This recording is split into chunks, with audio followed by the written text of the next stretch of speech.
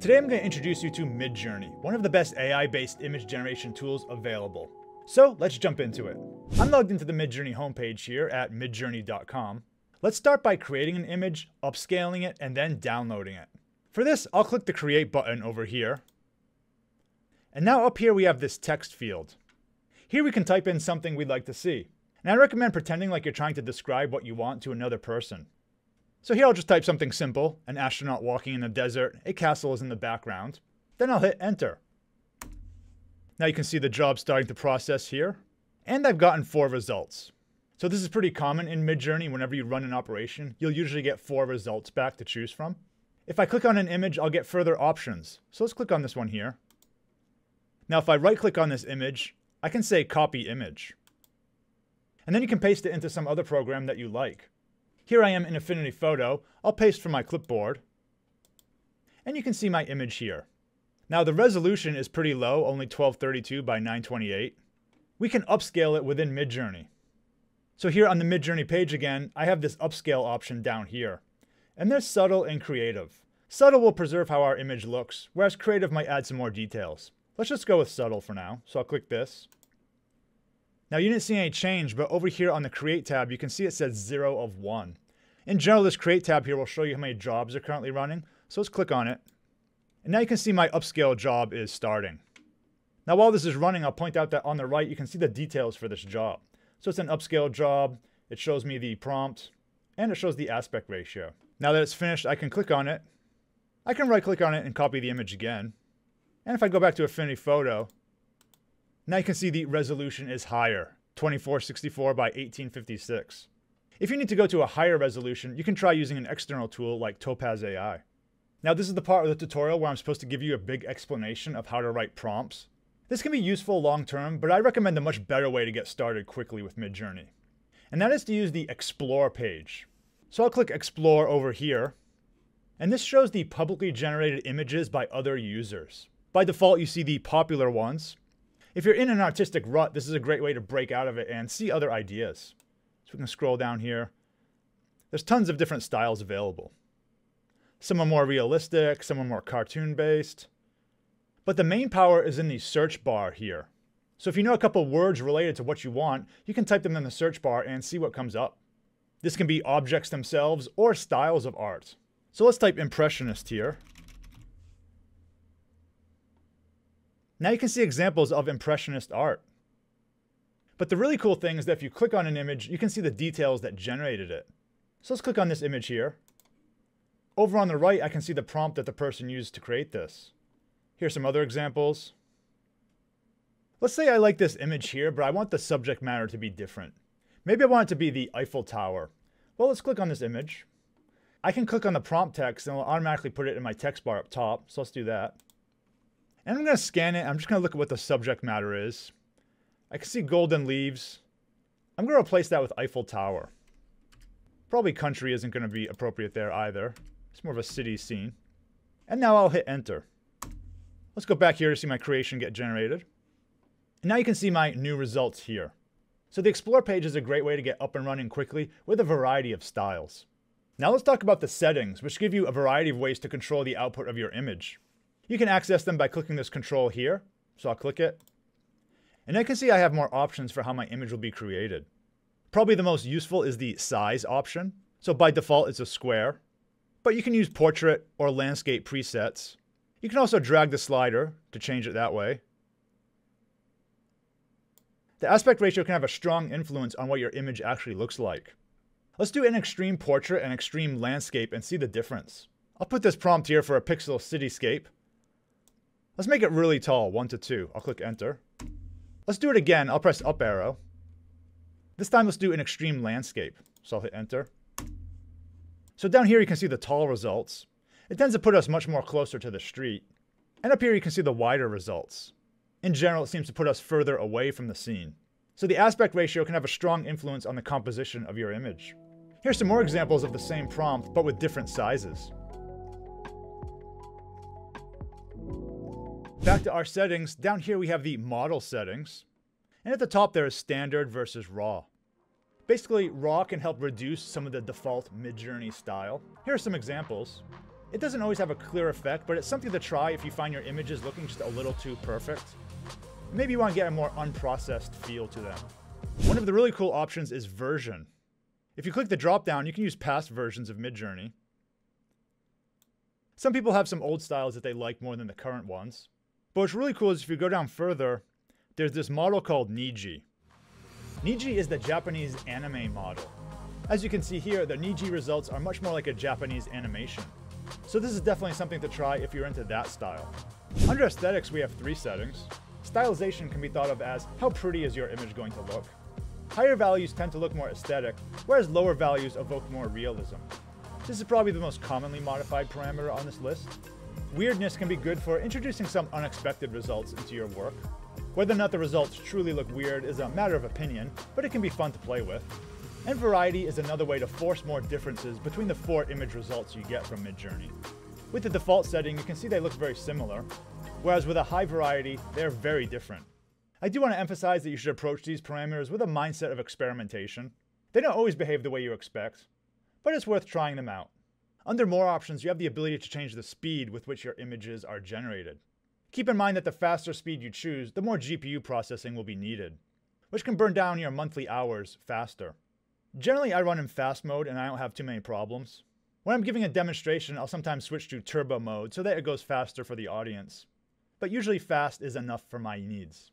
And if you're going to be processing a bunch of things and walking away, you can also just do relax mode. Stealth determines if your image is publicly available on the Midjourney Explore page. This is an extra feature that you have to pay for to enable. I usually have it on, but you can turn it off if you want your images to be available in the Midjourney Explore page. And finally, if you change a bunch of settings and you want things to go back to normal, for example, maybe you make all these adjustments here, remember you can always click the reset button. So I can reset my image size and I can reset my aesthetics. And things are back to the default state. You can also enter those settings I showed you as parameters in the text field. So for example, I could enter cat with an aspect ratio of 163 to 27 and a stylized parameter of 500. And here you can see I can get a very specific result. I don't do this too often anymore, but it is there. Now there are two other parameters that are pretty important, but they aren't in the settings tab. The first is tile, and this will allow you to make a seamless pattern. So here I'll type watercolor orange pattern, and I'll say dash dash tile.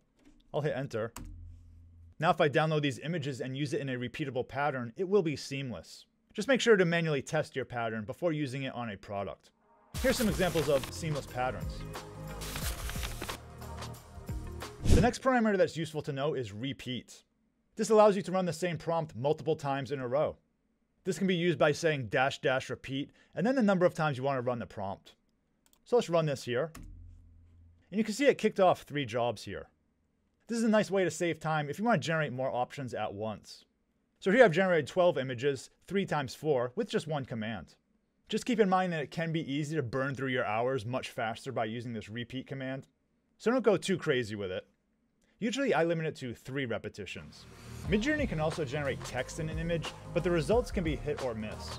To add text to your image, simply put the text you want in quotes within your prompt. So I have this example here. You can see I put the text just married in quotes here. Let's hit enter. And you can see the results. Some are pretty good. This one's quite impressive. Some don't quite work. You can see here it doubled the text. Sometimes misspellings happen or letters might be slightly deformed. So be sure to keep an eye on what it gives you. Sometimes the best approach is to just use Midjourney to give you an idea of where to put text, and then you can actually further edit it in another program like Affinity Designer or Canva. Now a really cool feature in Midjourney is the ability to edit and extend the images it gives you. You can do this to fix a mistake or just add some more background to an image. Let's start with this prompt here, Webtoon Fantasy Castle. Now I like this last result here, but what if I want to add some more content to the sides of it? Well, I can click on the image, and now I have these controls down here, zoom and pan. Let's try zooming out first. I'll click zoom and I'll say 2x. Once again on our create tab, we can see the job got started. I'll click this. And over here on the right, you can see the details for our job. It's a zoom job. And it's filling in that extra area. So you can see we've got these other results. Let's further edit this one here. Let's say I want to create more content to the right of my image. Well, now I can pan. So I'll click pan right. That's this right arrow here. And let's go back to our create tab. Now you can see the aspect ratio has changed because we're adding more content to the right side. So once again, we have four more results we can choose from. Now let's say I want to change part of my image. Let's change this one here. I'll click on it. Now maybe I like the whole scene, but I want to replace it with a different castle. To do this, we can use the Editor tab. So I'll click Editor down here. And now I have this new interface. And what this gives me is the ability to paint out part of my image. So I'm on the erase mode here. I'll paint out my castle. Let's just get rid of it. I like to paint a little bit beyond the bounds of the castle to give Midjourney more room to work with. So let's paint this out here. If you want to paint something back in, you can go to Restore, and I'll paint it back in. But I'll go to Erase and take it out. You can change the brush size up here. Let's take out this ocean too. Let's see what it does. And when you've made some changes, you can click Submit. So I'll click Submit. And let's go back to our Create tab to see what's happening. You can see we got four dramatically different results. And from here, you can upscale the one you like and use it. You can continue to edit the images, or you can upscale the one you like and use it in your work. Recently, Midjourney has added a separate edit page with additional features. You can access it through the Edit button here. Now, this might not be available for everyone yet. I think they're slowly rolling it out. So don't panic if you don't see it, but eventually it should be released to everyone. So let's click on this. Now, the really cool thing is you can edit existing images. For example, photographs you've taken or other artwork you've created. So here I'll click Edit Uploaded Image. And let's take this image here. So I found this image online at Unsplash. And maybe I want to add more of a sky to it. So I can drag this up here.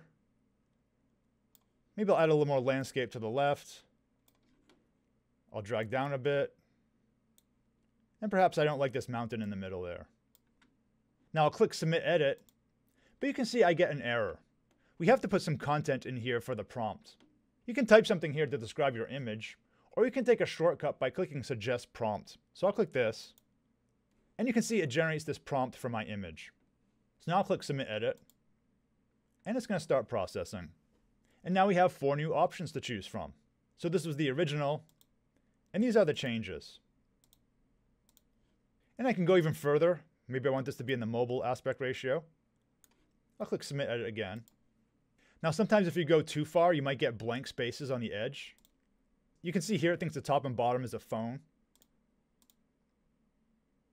But if you want, you can just erase that. And try it again. Sometimes you have to try things a couple times for it to work. And here we have a better result. Another powerful feature is retexturing. This lets you apply a different style to an existing image. So I'm here on the Explore tab. Let's find some styles we may want to use. I'll search for superhero comic. And I like this one here. I'll click and drag it to my text bar up here. So I'll let go. And now you can see it's added. When you hover over it, you have these three options here for how you want to use it. You can use it as a character reference, a style reference, or an image prompt. Let's go back to our Edit tab. If you're still seeing one of your old works, click Edit tab again, and you'll see this page here. So I'll click Edit New Image. Let's upload an image. This time I'll upload a person. Now you want to go to the Retexture tab here. So Retexture. And you can change the way the image will be used. You can use it as an image prompt or as a style prompt. So let's do style ref.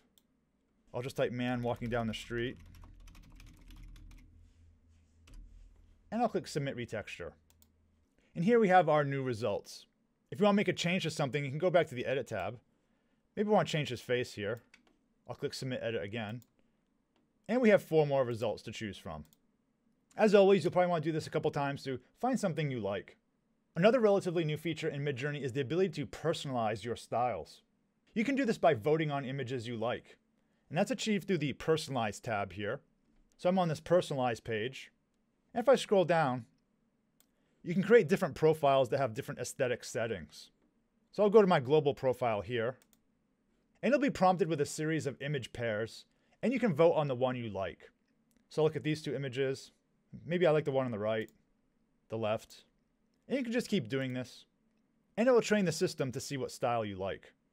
Now I'll go back to the personalized page. I'll turn personalization on. And let's go back to the create tab. If I put in a prompt and hit enter, you can see it's using my style profile here. And the results can be kind of hard to predict, but theoretically it's going to show you something more in the style of what you like. You can also use the styles that you see from other users in the Explore tab. So if I click on this image here, I can see this person used a style tag here. You could use that for your own image. Say man using computer. Enter. And now I'm generating this image using this other user's profile. So it can be a cool way to get different styles for things. And if you want to turn it off, you can go back to the personalized page and disable it. Finally, if you'd like to bulk download your images, you can go to the Organize tab here. To select all images for a particular day, you can hover over the date and click Select All. And then down here you have the ability to download. If I scroll down, I can also select other days. So I can select yesterday. On the right, you can also scroll through your whole timeline. Course, I have lots of stuff there, so it'd take forever, but it's possible. Hold Shift to unselect things. You can also click and drag to select what you want. And then when you have a selection you like, you can choose download. And then you'll be prompted to download them. And also be careful of selecting too many images. It can definitely take a while for them to finish processing. I wouldn't really recommend selecting more than 100 images at a time. And when it's finished processing, you can see that here it prompts me to download the images. So it's a pretty cool way of bulk downloading and organizing your work. Are there any questions you have about Midjourney? Let me know down in the comments below. I plan to make more Midjourney videos, so be sure to subscribe to be notified when they come out. Thanks for watching, and see you in the next video.